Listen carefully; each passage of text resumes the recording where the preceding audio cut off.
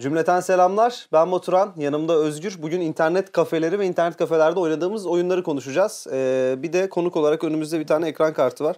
Dekor bulamadık abi herhalde Aynen. o yüzden mi bu var? 1080. Ama ben şey istiyorum. Şu görseli ayrıca yorumladığımız bir video olsun istiyorum. Bu görseli birazdan yorumlayalım bence. Aynen, müthiş. Ben sana atayım bunu ekrana tam boy bir koy abi. Çok Aynen, acayip. aynen. Her tarafına bir hikaye akıyor bunun. Sendeyiz. Evet abi internet kafelerde ne oynuyorduk? Bir hani bu Türkiye'de bir internet kafe kültürü var artık insanlar bu nostaljik duygularla daha çok böyle e, överek anlatıyor ya. O yılların böyle oyunlarından bahsedelim bir de o yıllardan çekilen çilelerden falan da bahsedelim onlarımızdan da bahsedelim istedim. Benim ilk oyunum abi Counter Strike tabii ki. Ya tabii Counter bu işin zaten zirvesiydi. Bu zamanla yerini LoL gibi oyunlara bıraksa Valorant'a falan bırakmış olsa da hala girip oynayan vardır. Ama bunun en büyük sorumlusu da CSGO'dur. Evet. Kimse o 1.5'i Ice World'ı Evet. yerini tutamaz yani. Ya internet kafeye gitmek yerine hani Counter'a gidelim diye Ha, tabii, konuşulan yıllar bu şey vardı işte yani. PlayStation kafeye PES'e gidelim. Hah, demek. evet. Hala evet. mesela çok büyük Evet. bir insan kitlesi PlayStation'ın adını PES sanıyor. Evet, evet. Bu o yüzden ona e, PS Aynen. deniyor falan sanan adam çok var yani. ya Counter e, her, herkesin, Herkesin oynadığı oyun yani. ama evet. böyle daha gurme oyunlar vardır yani böyle internet kafede oynanan. Ya işte evet, atıyorum mesela az önce de konuştuk. E, ben de mesela o çok yok. Ben de internet kafeye çok gittim ama ben de biraz da böyle hep hikayeli yapımlar vardı. Mesela sen Crazy Taxi dedin mesela. Aa tabii. İşte Age of dedim. Mesela onlar bende yoktu. Benim arkadaş kitlem mi sorumluydu acaba? Ya bilemiyorum. Ben çok internet kafeye aslında hani İstanbul'dayken gitmiyordum. Çünkü benim çok küçük yaştan itibaren bilgisayar vardı evimde. Hı hı. Ben böyle bir iki aylığına Antalya'ya gitmiştim. Orada hani yaz mevsimi halamın yanında işte denize falan giriyorum takılıyorum. Çocuğum daha. Ee, şöyle bir dönem oldu abi. Hani canım oyun oynamak istiyor. Evinde hemen karşısında internet kafe var. Saati de 1 lira mı ne? Bana veriyorlardı 2 lirayı. O 2 lirayla zaten orada zengin muamelesi görüyorsun. Tabii canım. Hani şey gibi ya böyle gece kulübünde loca açtırmış gibi oluyorsun yani. Vodka büyük. 2 lira diyorsun ya çocuklar dönüp bakıyor sana bu kim diye yani. Şey, silahşör giriyor içeri böyle değil mi? Kendi keycapiyle geliyor. Ben 2 saat oynayacağım. Yani. Ve öyle olduğu zaman da şu vardı. Biraz anıyla gireyim. Çok pardon. Bir de asıl zengin kim biliyor musun? 2 saat oynayan adam değil. Aynı zamanda internet kafede yemek yiyip içecek içen adam. Onu da yapıyordum bu arada. Bak ben onu hiç yapmadım. Onu bu arada daha yaş büyükken yapıyordum. Yani. Ee, o yıllarda ne oynuyordum mesela? En çok oynadığım oyun benim. Oradaki abilerle Half-Life'a giriyordum. Hiç oynayamıyordum. Zaten onlar da oynayamadığımın farkındaydı. Hadi lan gel sen de oyna falan diyorlardı Yazık, ama üzülmüş. abi adam roketi atıyor, havaya uçuyor falan. Ben elimde dümdüz silahla böyle. Ha, tabii şey online yani. kısmını oynuyordunuz değil mi? Yani Tabii tabii birbirinize online karşı- oynuyorduk. Anladım. Zaten Half-Life'ın story şeyine moduna girdiğin zaman e, trende bitiyor senin süren. Şey, aynen. O, ya bir saatlik açtırıyorsun. Evet. Orada bitiyor. Sonraki geldi yine 1 liran olduğu için yine sadece o tren sahnesini Evet bence mesela. Half-Life'ın Türkiye'de hikayesi çok oynanmamıştır diye düşünüyorum yani. Daha çok biz böyle hani büyüklerimiz falan bilir. 35-40 yaş Hı hı. olan insanlar şu an hepsi online'dan biliyor. Aynen. Ya ben bu arada hani şey e, tren sahnesini geçen nadir insanlardan biriyim. E, 3 saatlik açtırmıştım. Yok küçükken evde ya bilgisayar olduğu için orada oynamıştım. Hatta ben Half-Life'ın online modu olduğunu çok sonra öğrendim. Her, herkes o Half-Life diye Sen konuştuğu şey. adammışsın. Abi ya. ben ben gidiyordum internet kafeye FIFA oynuyordum ben. Abi çok çok orijinal bir adamsın. Şu vardı bir de internet kafelerde bak. İnternet kafeler e, Twitch yayıncılığının ilk sürümüydü. Tabii arkada duranlar. 2 saatlik açtırıyorsun ya abi yanına hemen bir tane çocuk geliyor. Bakıyor böyle o araba kötü sen onu alma işte falan. Şey yapıyor bir de hani seni alkışlıyor veya seni gömüyor orada. Evet hani. ya GTA'da San Andreas oynuyordum ben de. Çocuğun biri geldi izliyor böyle bitirmiş o oyunu. Ya da Hı hı. izlemiş birini bilmiyorum. Günümüz bak günümüzde bile oyun toplumu gelişmemiş. Hala başkasının Evet. izlediği diyor da ona bak şöyle git bunu yap. En uyuz olduğum da kimdi biliyor musun? Bir görevi sen hafif zorlandın mesela. Hı hı. Ver geçeyim. Abi git başımdan ya. Bunu bak bu kültür bitmedi. Atari salonlarında bile bu Evet. tipler varmış. Bunu böyle anlatırlar abi işte. Hadi bir jeton ver senin yerine geçeyim şu bölümü falan. Ya da işte internet kafede yanına gelip oturuyor adam. Ulan Need for Speed Underground oynuyorum. Arabayı nasıl modifiye edeceğime karışma ya. Hani şöyle daha güzel oldu falan diyor. Hani, Kırmızı koy. yani rahatsız etme insanı. Hani. ya evet. Ya ben inanılmaz uyuz oluyordum. Bir de böyle şeydi. e, internet kafeler zaten ailelerimizin en çok korktuğu hani çok düzenli insanlar olmuyordu. Evet.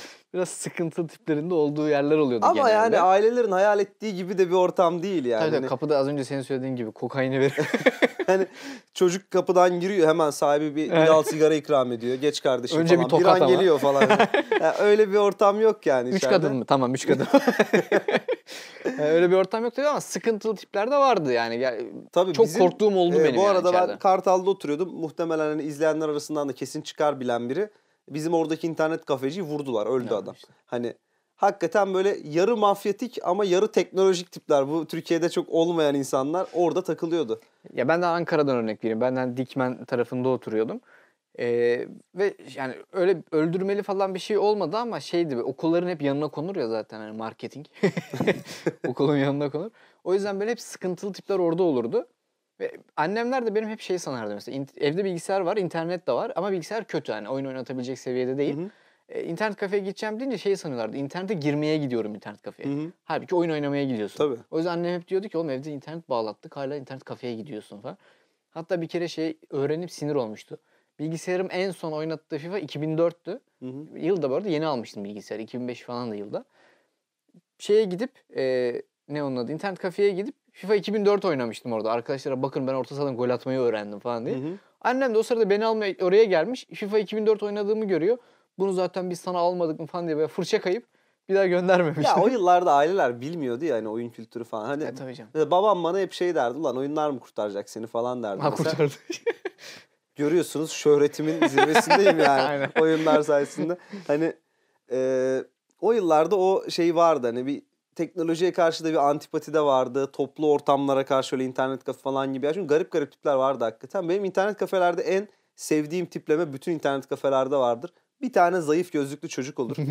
o çocuk şeyi hani PlayStation kafelerde kolu düzelten adam var ya. Aynen. O çocuk da oyun açmaya gelir. Böyle abi şöyle yeni oyun geldi ha bak onu da oyna falan deyip böyle masayı açarken böyle sana taktikler veren o çocuk.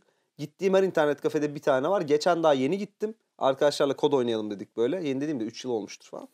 Ama hala o çocuk var. O çocuk yerine yenisi geliyor yani. O Yani büyüyor bir o- tanesi. CD'ci oluyor bir yerde. Usta şey işte acemi yetiştiriyorlar Evet. onu. Ya şimdi aklıma şöyle bir konu geldi. Play- e, pardon internet kafelerin ismi hep çok acayip oluyor. Mesela sen hatırlıyor musun ismini? Ee, açık hala. Hilalnet. Ondan Ha, önce? Tospik internet kafe vardı Abi çok orada. ikonik isimler var. Biz- Bizim gittiğimiz internet kafenin adı da Matrix'ti. Çok iyiymiş. Ve ön şey e, girişi full camdı ama camın arkasına duvar kağıdı koymuş. Matrix'in o yazıları var ya. Sonrasında mesela artık teknolojinin de gelişmesiyle oraya paneller koydu. İnternet kafenin önünde böyle şey Matrix yazıları akıyordu aşağı. O çok iyiymiş be. Bayağı iyiydi. Yani şu orijinal isimler gördüm işte Cehennet falan gibi böyle. Caminin yanına mı açtı ne yaptı senin? Hani orijinal isimler var böyle. Evet evet. Orijinal isimler vardı. Hani bizim orada daha böyle lokal isimler vardı hep. İşte mesela Hilalnet, Maralım Hmm. internet kafe falan. Var hala açıktır bu Bizde de arada şey muhtemelen. vardı bak. Gece yolcuları. O ne be? Oğlum grup değil mi o? Gece yolcuları Gece neti de yolcuları. yok. Gece yolcuları. Adam öyle isim Aynen. kopmuş. Gönlünden kopmuş adamın yani. Senin bakkal ismin gibi Hasan. Evet en iyi Hasan bakkal Bakkal. ismidir. Benim yani. için Taner o. Ee, yavaştan anılara geçebiliriz. Şeyi soralım hemen insanlara. Oyunlara bir devam edelim Ha, ya. Oyunu tamam, hala okey. bitmedi aslında. Çok oyun var. Abi Age of Empires 2. Ya ben de yok abi bunlar işte. Oğlum nasıl? Adam Age of Empires 2 oynamış. Oyun editörlüğü yapıyor. İşte gaza geliyorum değil mi? Hayır Age of oynamadım diyor. Oynadım. Evimde oynadım ama. Ha. ya bunların güzel yanı şeydi işte. Orada hani gerçekten tanımadığın insanlarla böyle LAN parti yoluyla oynayabildiğin bir ortam. Yani bu yurt dışında falan da yok. Türkiye'de var bu arada. Hani ya evet ben yurt dışında PlayStation Cafe diye bir şey ben yok. bunu şeyde Almanya'da e, hani sordum niye yok diye. İnternet kafeler var da nasıl biliyor musun? Gerçekten internete bağlanmak Ha, için evet. alanlar var. Gidiyorsun para veriyorsun internete giriyorsun falan. Acil bir işi olan adam falan gidiyor. Veya işte e, kötü şeyler izlemeye giden Ha, insanlar. şey vesikalık gidiyor. fotoğrafçı gibi. Aynen. E, PlayStation Cafe bir tane işte açıldı de- dediler Berlin'de mi ne bir yerde. Bir tane rapçi açmış. Adını hatırlamıyorum. Arkadaşlarıyla takılmak için falan. Rapçi ise o hangi mahalleden çıktığı bile şu an Kreuzberg'den çıkmış. Evet yok Türk değil Arap. Herif arkadaşlarıyla PlayStation oynamak için öyle bir yer açmış mesela. Nargile falan var böyle takılıyorlarmış yani. Tam mantık yine temeldeki aynı kültürel yapıya dayanıyor. Evet evet. Ee, ya şey ya çünkü onların erişim imkanı var ya bizim e, olmamasının sebebi böyle bir şey erişimimiz ya yok. onlar yani. da LAN parti olayı da bizden daha gelişkin ya. Hani adamlar canım. parti kültürü var. Bizde mesela kuzenimin arkadaşları gelirdi küçükken. Hani bir tek onda gördüm ben. Kasayı falan sırtlayıp getirirdi adamlar böyle Age of oynarlardı. Ya bizde de mesela ya tabii bu şeyden sonra Xbox One'la birlikte oldu. Yani o dönemde oldu mesela. Ee, konsolu birinin evine götürüp onu, o müsait mesela. Bir de hani yaşta küçük ya evinde yok. Onun evine götürüyordun o müsait. Orada herkes oyun oynuyordu. Geri götürüyordu falan. Hı hı. Yurt dışında öyle bir şey yok tabii yani. Tabii. Ee, oyunlar konusuna geri dönecek olursak GTA mesela GTA ve şey e, Just Cause oynadım. Just Cause çok sarıyor. Just Ve e, ona çok benzer bir oyun bence. Prototype acayip oynanıyor internet Evet kafelerde. ya. Bunların bak temel noktası ne biliyor musun? Hepsi açık dünya eğlencesine dayanan oyunlar bak. Crazy Tabii. Taxi, Just Cause, işte GTA falan. Ya internet kafede çünkü oyunu kaydedemiyorsun ya. Hmm. Girip o an eğlenebildiğin bunlar vardı. O yüzden bunlar mesela Prototype Türkiye'de dünyada olduğundan çok çok daha fazla sevilir. Evet ya. Yani sebebi büyük ihtimalle bu biliyor Çünkü musun? niye? O dönem Karakter çok güçlü ya. Evet. zaten oyunun başında. Giriyorsun açık dünyada istediğini yapabiliyorsun çünkü çok güçlü herif zaten. Ve hani her seferinde farklı bir şey deneyimleyebiliyorsun açık dünya olduğu için yani. Ya benim internet kafe deneyimlerim hep şöyle oldu. İşte yani böyle gittiğimiz zaman işte bayramda, seyranda bir yere gittiğimiz zaman e, sıkılıyordum. Yapacak bir şey yok. İnternet kafeye gideyim. Ucuz bir de zaten. İnternet kafeye gidiyordum. Bilgisayarım da kötü. Orada oynata yani benim bilgisayarım oynatamadığı tüm oyunları oynuyordum böyle sıradan. Ve şey yapıyordum. Hani e, listeliyordum. İşte prototipi beğendim. Yaz bu oynanır. Call of oynanır yaz falan. Böyle ya- listeliyordum. Ve bir şey değil mi? Bir gün bilgisayarım olduğunda o liste hala duruyordu ve hepsini alıp oynadım. O kadar sardım mesela Sarmadı. değil mi? Sarmıyor çünkü. Çünkü niye biliyor musun? Küfür edebiliyor muyuz? Et canım. Orospu çocuğunu çek. Bu kadar ağır değil yani. Abi Call of e, şey Modern Warfare 1'i adam nerede save almış biliyor musun? Oyunu bitirip save almış. Son görevde kalmış. Yani save son görevde. Hı hı. Ben başlıyorum oyuna. Şey de bilmiyorum. New game, road game falan hak getire zaten. Giriyorum oyuna. Direkt abi son görevden başlıyor. Ben oyunun sonunu görmüş oluyorum. Diyorum ki ulan Oo. diyorum ki bir de bu oyun böyle başlıyorsa Değil mi? wow. şey köprülü bölüm değil mi hani böyle? aynen aynen. Tempolu da bölüm bir de hani aksiyonun tabii. böyle te- en zirve noktasında başlıyorsun oyuna falan. Sıkıntılı. Başlar sıkabilir. Şimdi anı Evet abi. Ama ben burada hemen şeyi sorayım. Sizin oynadığınız oyunlar çünkü çok farklı çünkü farklı dönemlerde olduğu için Ya ama insanlar bir farklı tane yaşlarda. şey var bence. Bir imaj dosyası var. Eskiden öyle bir şey vardı yani. Server server'ı satarlar hani. Hmm. Onun içe dolu olur oyunlarla. Bence bir imaj dosyası var. Belli bir şey. O bütün internet kafelere dağılmış bir şekilde hani. Ya prototype'ı hani ya net Evet, kafeci adam aynı oyun var, bilmiyor. evet. Bilmiyor mesela adam oyunu falan bilmiyor ama o hazır olarak aldığı için herkes de aşağı yukarı aynı oyunlar vardı. Aynen. Mesela Crazy Taxi oğlum ne alaka lan? Sega Dreamcast'te ünlü olmuş bir oyun. Aynen. Türkiye dışında hiçbir ülkede de böyle PC'de falan hayvan gibi Crazy Taxi oynanmıyordur. Büyük ihtimal bir yerde hepsi bir yerden oluyor. Şeyler belli ediyordu kendini zaten. Ben mesela bir İzmir'de bir internet kafeye gitmiştim. Oradaki oyunlar çok farklı. Herif şey yani biliyor işi. Hı hı. Ee, kendi dizmiş. Bir o klasik oyunlar vardı. Bir de Hı hı. başka hani hikayeli oyunlar falan vardı mesela. Yani Max Payne'ler falan vardı mesela. Ben hatırlamıyorum Max Payne'i. Aa evet olmazdı. Bir Ee, de diziler olurdu bu arada. Onu anılar kısmında anlatacağım. Aklıma şey geldi sadece geçeyim ona. Hı hı. Akınsoft. e, o yazılım aşağıda. Hani... Ya bir şey ben de ona girecektim. Abi ben hala çözemedim. Ya tabii çözdüm. Oğlum artık. Akınsoft'un en son benim gördüğüm şey ne biliyor musun? E, çay getiren robot. çay getiren robot yapmışlar. Konya'da mı ne bir yerde böyle şey, lansmanını yapıyorlar. Robot geliyor çay servis ediyor. Abi nasıl bir ne, ne kadar geniş bir skala bu yani. İnternet kafede. İnternet kafe yazılımından çay getiren robota yani. Ya ben şeyi de anlamıyordum. İşte sen abi kaça geçiyorsun? 25'e geçtim abi. Tamam sen geç kaç saat? Abi süresiz aç. Ot ya da bir saat aç. Hı hı. Giriyordun abi oradan istek atıyordun falan. Masayı oradan bilgisayar açık ama ekranı sana açıyordu. Abi kesinlikle o yaşlarda anlamıyordum ha. Evet evet. Kafam ya benim kafam karışıyordu adamın yapacağı işi. Halbuki çok basit yani. Aç kapa yapıyordu. herif. Değil mi? Çünkü çünkü o da bilmiyor hiç bilgisayarı bu arada hani. Harbi kafam karışıyor. İnternet kafe teknolojileri için ayrı bir video mu çeksek? Ya onunla ilgilenen bir adamın böyle anılarını yazdığı bir şey var da hakikaten orada zahmetli bir iş yani Tabii canım. O çoluk falan. çocukla uğraşıyorsun abi. Bir Evet evet. sıkıntılı Ama işte o gözlüklü çocuk her şeye hakim oluyor Aynen. diyor orada. O kurtarıcı zaten. Anı o zaman. Şimdi benim hemen bir tane anım var. Hızlı hızlı anlatayım. Video çok uzamasın. Ben e, hem Knight'ı hem de Metin 2'yi oynamadım. Tamam mı? O dönem ben Warcraft oynuyordum. Oğlum sen ne kadar kaliteli bir çocukluk ya bu. Ama mesela Bite Fight'lar falan çok oynadım. hatırlıyor musun? Bite Fight, mi? E, tabii o yani. Byte diyecek o zamanlar şey de var. Gladiatus. Abi çok güzeldi Abi ya. Çok güzeldi onlar ya. İs- İstanbul Kıyamet Vakti'ne bir kısa bir dönem Onu oynamadım ki çok mesela. kısa girdim. Sarmadı zaten. E, Travyan mıydı? Köy kurduğun falan. Travian. Onu bir Travian. arkadaşım oynuyordu. Hemen şu araya sokayım. Orada e, oynadığı bir tane çocuk vardı işte böyle sürekli birlikte giriyorlar falan. Çocuk Guyanalıydı. Bizimki de böyle yurt dışına yerleşeyim falan diye sordu işte çocuğa ya hani e, sizin oralar nasıl falan. Çocuk şöyle ya burada hayat çok masraflı işte 400 dolara lüks bir hayat yaşayabilirsin falan diyor işte. Bizimki de hevesleniyor. Sonra çocuğa işte soruyor yani, peki nasıl bir şey bu lüks hayat diye. Diyor ki ya kablolu televizyon internet. Hangi yıl? 2019 falan işte yani. tamam 5 yeni seneye Türkiye için. Güzel anıymış bu arada. Neyse Metin 2 Night hiç oynamadım ben. Ama ya o dönem hiç oynamamıştım. Herkes onları oynuyordu. Bana gelmiyordu ama Warcraft oynuyordum ne bileyim başka hikayeli oyunlar falan oynuyordum. Ya bir gün internet kafeye gittik. Masanın üstünde bir kağıt var. İşte kullanıcı adı şifre. Yazmış oraya tamam mı? Kullanıcı adı bir şey, şifre bir şey. Ondan sonra baktım sağa sola. Dedim, aldım cebe attım. Ondan sonra aradan günler falan tabii neye ait olduğunu bilmiyorum. Arkadaşlar anlattım falan derken dediler ki abi Metin 2 olabilir. O masaya genelde şu çocuk oturur Metin 2 oynuyor. Bir de hani tüm internet kafe zaten Metin 2 oynadığı için. Girdim oldu. Metin 2 şifresiymiş. Ve herif 65 mi 68 level mı ne? Ve o zaman böyle artı 9 dolunay kılıçlarının çok çıkmadığı, nadir çıktığı dönem herif döşeli yani. Ondan sonra Ya Art 9'a basmak bu arada çok zor bir şey. Dolunay kırılıyordu çıkıyordu genelde. da aynen kırılıyordu. Dolunay'a çıkıyor kırılıyordu genelde silah. Oynadım bir süre 75 level'a falan getirdim. Tabii hiçbir şey oynadan hiçbir şey bilmiyorum böyle sürekli karakter çok iyi olduğu için kendi bir şeyler yapıyor sürekli. Hı hı. Ondan sonra bir gün birisi geldi dedi ki bunu sat bana hesabı. Dedim olur. Tabii ben sonradan hesabın kime ait olduğunu öğrendim. Ondan sonra çocuk bayağı üzülmüş. Ağlamış Oğlum etmiş üzülür tabii kaç sene gömmüştür ona ya. Tabii. Ondan sonra ben ama onu 150 liraya sattım abi. Çok fena. 150 liraya mı sattın lan bir de onu?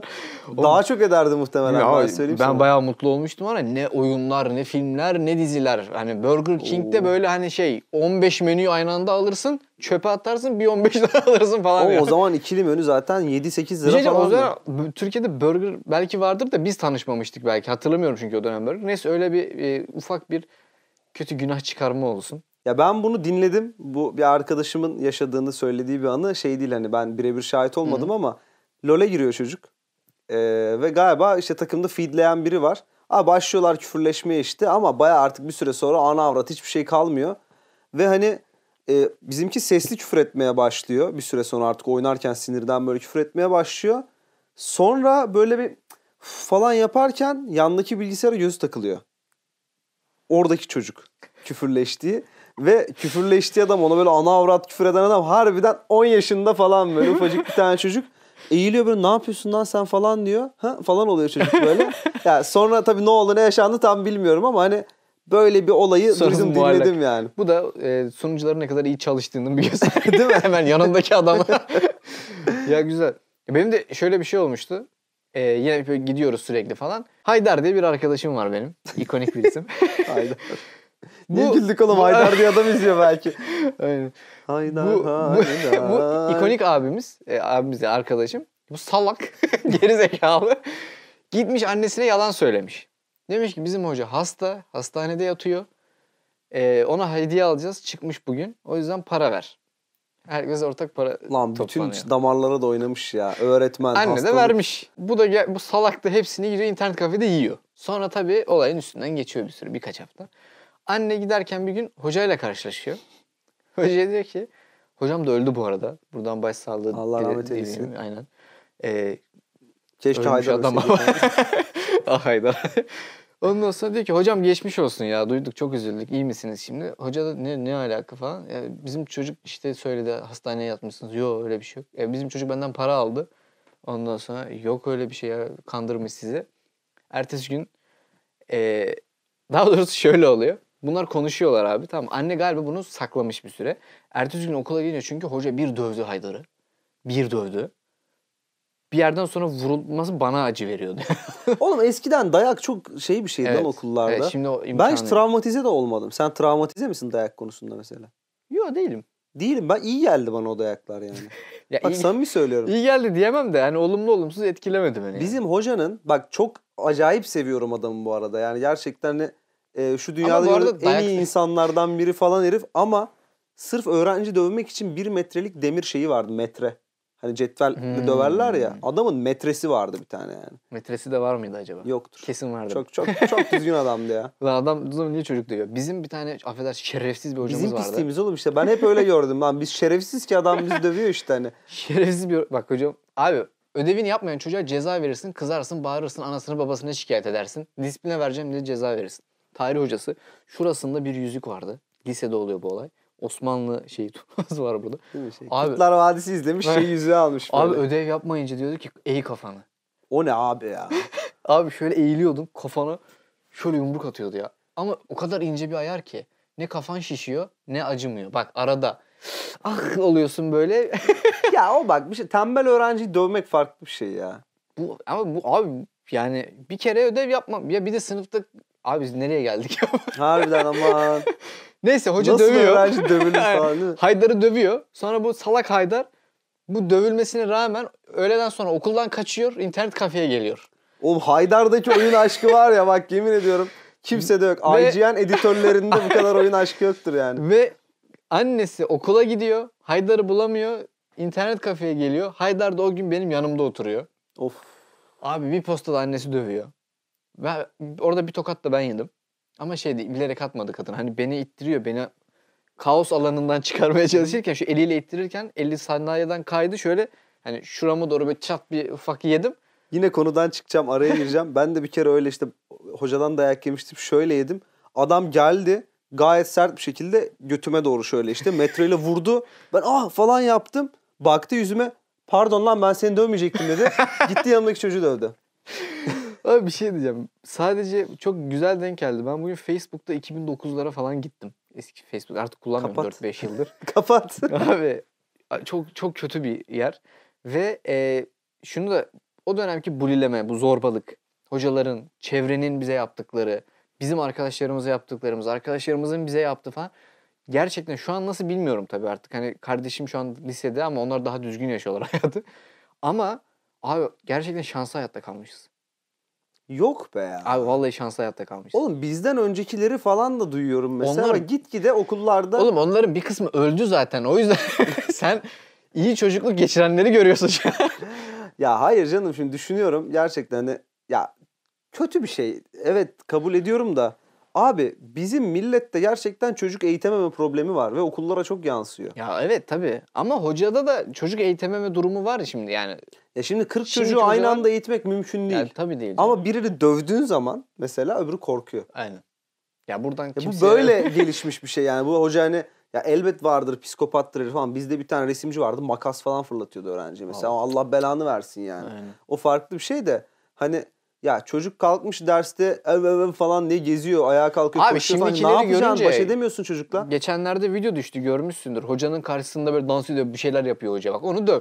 bir şey diyeyim mi yani onu gerçekten böyle şey kafasını sıraya falan vururlardı Aynen. bizim okuduğumuz zamanlarda. Tabii canım. Yani of. o o çok büyük dayak yerdi ki ya tamam kötü bak tekrar söylüyorum şiddet kötüdür şiddet kötüdür ama e, Yerine göre ne de. olduğunu lan işte çıkan tiplere bak ya. Ya evet Yani- maalesef. Bir ufak kulak çekmek lazım bence bazen. Ama şimdi şeyi de bilmiyoruz. Dövülmediğimiz bir geleceği bilmiyoruz ya. Belki şu an bambaşka insanlardık. O metrenin böyle kafamda böyle yarattığı o birkaç hücre kaybıyla Aynen belki yani anladım. Belki şey öyle bir travman var ki mesela hiç fark etmediğin bir şeyi engelliyor sende. olabilir. Bunu Abi biz internet kafe konuşuyorduk ya. Aynen. Oğlum buraları keseyim mi ben ne yapayım lan konu dağıldı. Sonuç olarak şiddet kötüdür yerine göre. ya şimdi evet çok başka yani bir konuya geldik de. uslanmayanın aklı kötektir falan diye böyle. Ya bazı laflar gerçekten çok da yalan dolan değil gibi geliyor Ba- bana. aynen. Tabii ki pedagojik olarak bunlar yanlış. Bilimsel olarak bunun bir dayanağı da yok.